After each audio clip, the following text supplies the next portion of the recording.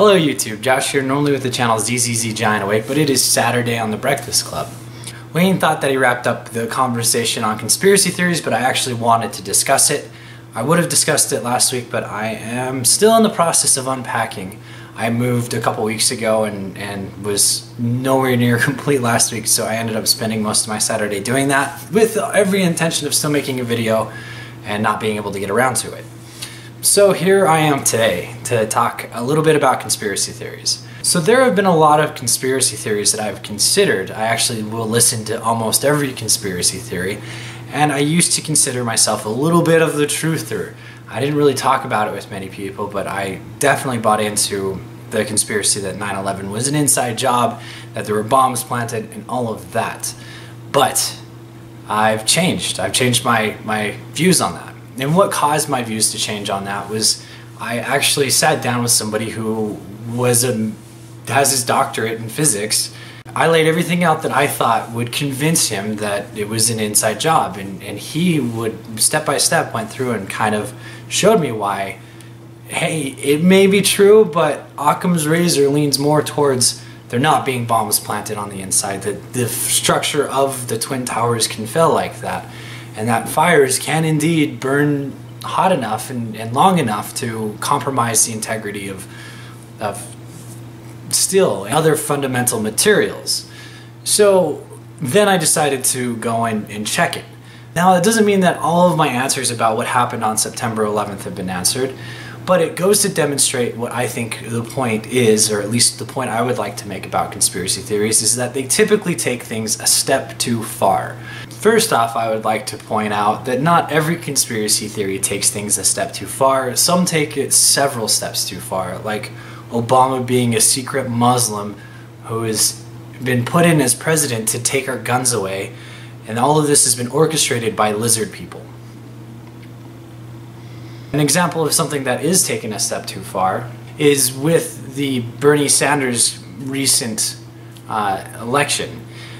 So I am most definitely a, a, Bernie supporter, and something that got misconstrued by my last video two weeks ago was that I said that there may be fraud. I didn't say that there was fraud, but there are those who support Bernie who definitely think that there was fraud.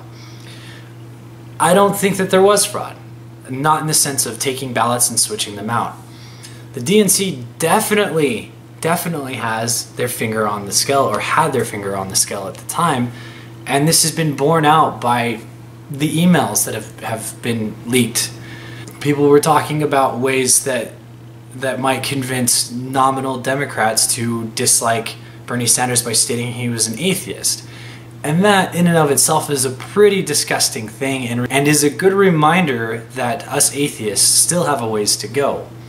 But there are, are some conspiracy theories that I find that I want to know more about. The main one that comes to mind is the situation in Turkey with Erdogan. Whether or not he staged the coup itself so that that way he could do a power grab, so that way he could clear the military of any dissension.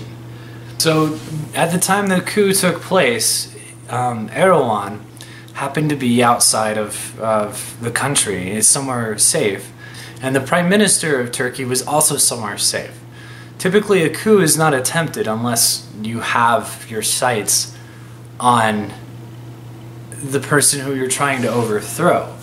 Now, there's questions about maybe they were too desperate and they, the people who decided to plan the coup and, and attempt it, they were so desperate at the time that they were willing to try it even with the circumstances being as terrible as they are.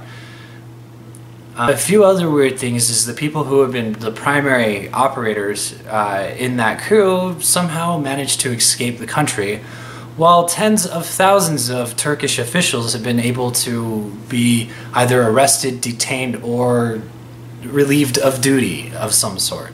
And why would Erdogan know have a list of tens of thousands of people who might be involved? These are political opponents and people who might uh, go against him in the government who have political power. So there's a lot of shady circumstance that goes along there. This situation sounds like something that Putin would do, something right out of Russian politics where Putin keeps on shifting from president to prime minister and then moving the power over to the other position as he takes control of that office. And now he's got the power to run essentially uncontested forever for the rest of his life until he decides to retire. And it looks like Erdogan is doing the same thing. Now, this is an issue if you want Turkey to have a democracy, especially if you want any hope of them shifting more uh, towards a liberal party. Like, so the topic I'd like to discuss this week on the Breakfast Club um, with the other hosts, and acknowledging that we all have channels separate from this, and that we've all uh, shot hundreds of movies, um, is what movie that you have made do you feel has been the most important work that you've done, or is the most important to you? Tell us about it what things would you change about it if you could, or what criticisms might you have about it, and what made you proud about that work, or what made you excited that it got the reception that it did. Um, until next week, thank you guys.